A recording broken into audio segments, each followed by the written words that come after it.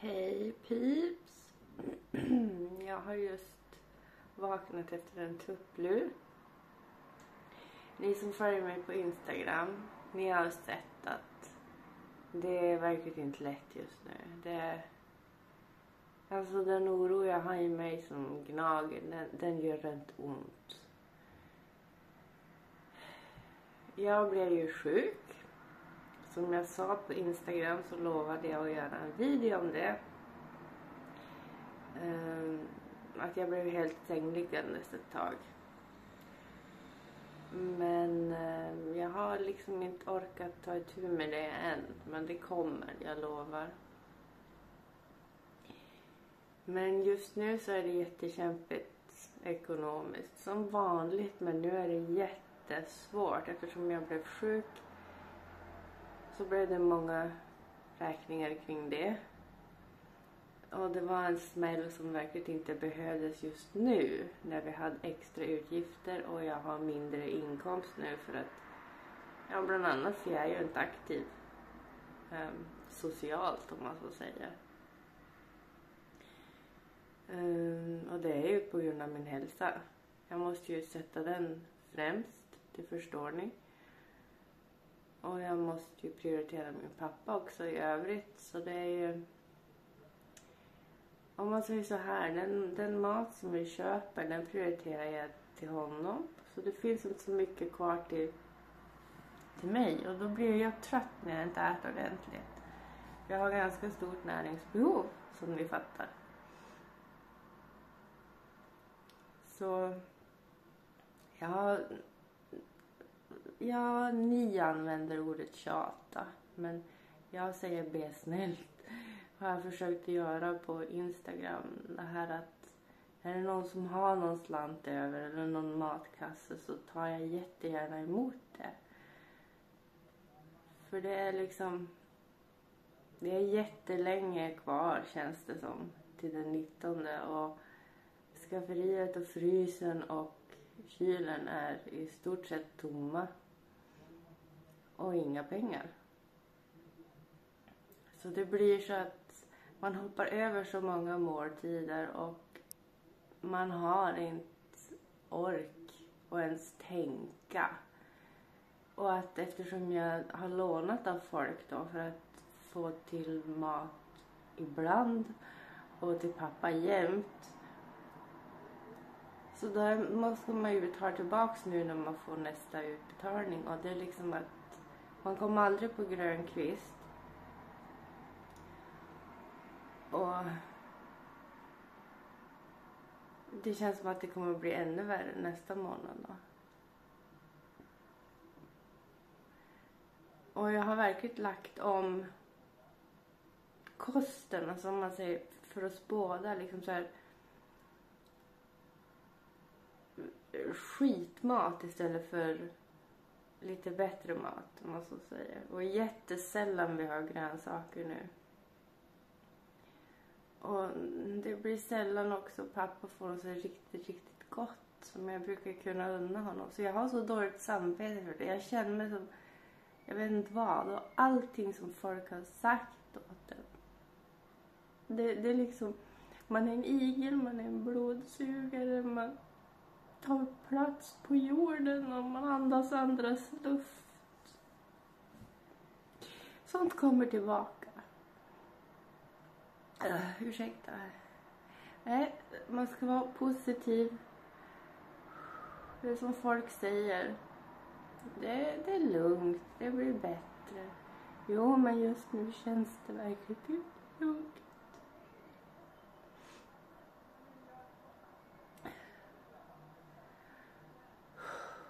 Förlåt.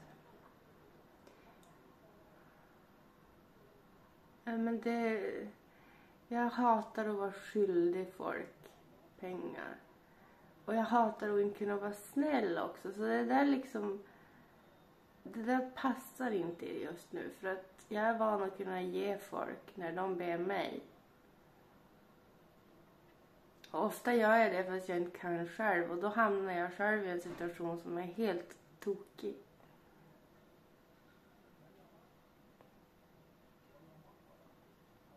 Jag vet inte. Men det är liksom att man är så trött och man är så orolig för allt. Man blir mentalt trött. Förut jag brukade dammsuga och skura golven titt som tätt men nu bryr jag mig liksom inte. Jag tar på mig foppatofflor istället och går på knastriga golv typ. För de blir väldigt knastriga på grund av rullatorn när morfar har gått... Morfar? Nu sa jag morfar. Jag menar pappa. Säg jag kan tänka.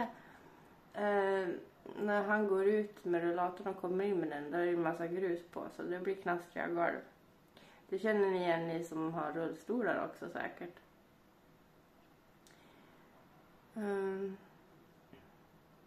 och det här, jag brukade ju duscha varje dag. Nu gör jag verkligen inte det.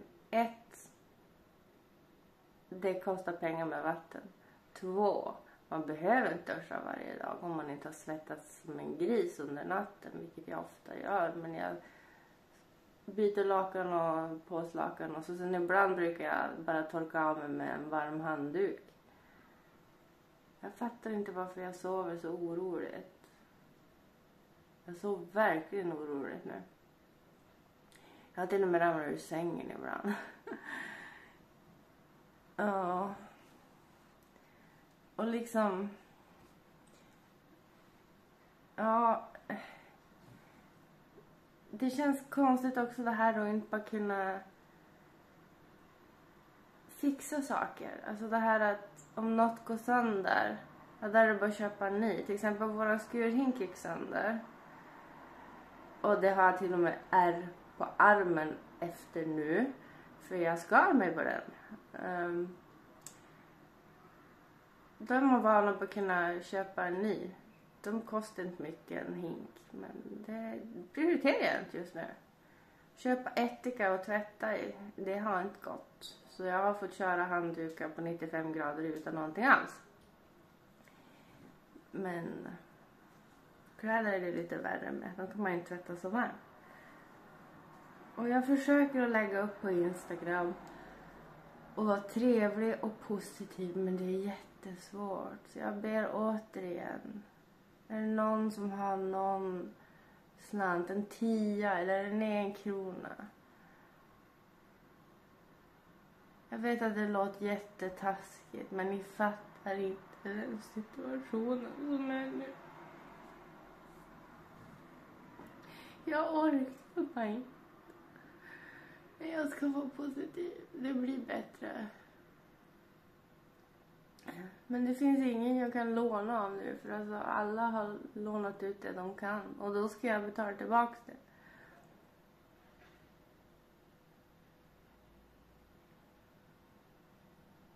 Eller om det är någon av er som kan låna ut men då kommer det att bli någon månad innan jag kan betala tillbaka. Jag har grejer på Blocket också. Så är det något av det ni vill köpa så svara på de annonserna. Nej men jag säljer till och med en luftrenare då fattar ni hur desperat jag är, eller hur? Nej men jag måste fortsätta att vila. Jag får ont i hela kroppen.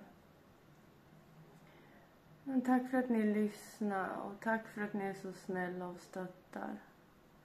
Och frukt forever. Alltså jag saknar att kunna köpa miljoner frukter typ. Och jag är besatt av fil just nu. Och ost. Alltså sånt här som ger riktig näring.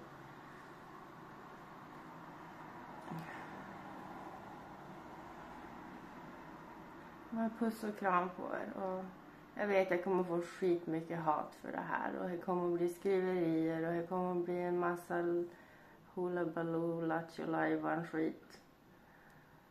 Men vad gör man? Jag är den jag är, jag har de problem jag har och då har jag väl rätt att uttrycka det. Och rätt att be om hjälp.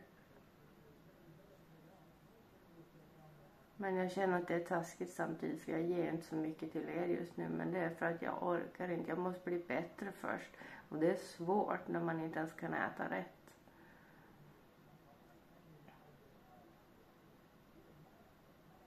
Men på sista tiden har det varit smäll på smäll på smäll på smäll på ekonomin och det har inte gått bra. Och nu är det typ rock bottom. Nu måste jag komma på Grönkvist. Men jag förstår ju att det är ju mitt problem. Jag kan ju inte kräva att andra ska fixa det. Men jag kan i alla fall be om hjälp. Och förlåt för att jag är den jag är helt enkelt. Men samtidigt, jag har rätt att leva jag med. Och jag har rätt att prata jag med. Oavsett att jag har en Asperger-diagnos. För den definierar inte vem jag är. Men det glömmer folk ofta. Nej, nu räcker det med skitsnack från mig. Men ärligt skitsnack. Ha det gott. Lev och må. Hej och då. Ät jättemycket mat och bananer för min skull. Puss på er. Love you all.